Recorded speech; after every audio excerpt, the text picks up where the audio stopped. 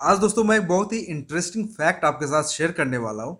आप में से काफ़ी सारे लोगों को शायद ये पता भी होगा, आज जो हम पेप्सी पीते हैं स्वैग के साथ पेप्सी पीते हैं एक्चुअली में अट्ठारह में 1898 में उसका नाम पेप्सी कोला था, जिसकी एक्चुअल में शुरुआत हुई थी 1893 में कैलेब ब्रैडम के द्वारा, जो कि उसके क्रिएटर थे।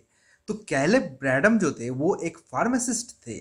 जिन्हें काफ़ी अच्छा लगता था एनर्जी हेल्थ और ये मतलब जोश जगाने वाली चीज़ें काफ़ी अच्छी लगती थी, जो हेल्थ को प्रमोट करे। वो नार्कोटिक्स के खिलाफ थे। उन्हें अच्छा नहीं लगता था कि उस टाइम में जो ड्रिंक्स मिलते थे सॉफ्ट ड्रिंक्स मिलते थे, उनमें कैफिन होता था, काफ़ी टाइप के ड्रग्स होते थे। तो इन्होंने एक ऐसा कॉम्बिनेशन बनाया ड्रिंक का, जिसे पीकर लोग क्रेजी हो गए। अरे, ये क्या चीज़ है भाई?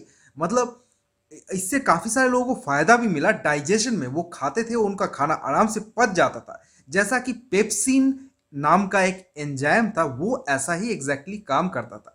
तो ये पेप्सिन नाम के एंजाइम से उनका आ, उनका जो ड्रिंक था उसका नामकरण हुआ। पहले लोग उसे ब्रैड्स ड्रिंक के नाम से जानते थे। बाद में अठारह में उसका नाम पेप्सी कोला हुआ, जो कि इंस्पायर्ड था पेप्सिन नाम के एंजाइम से, जो कि डाइजेशन को प्रोमोट करता था।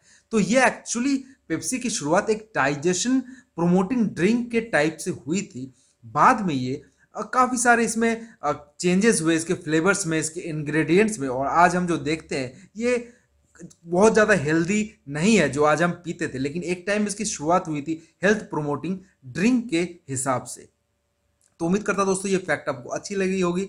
अच्छा लगा तो शेयर करो लाइक करो यार इस चैनल को। सब्सक्राइब करना मत भूलना। ओके चलो, टाटा।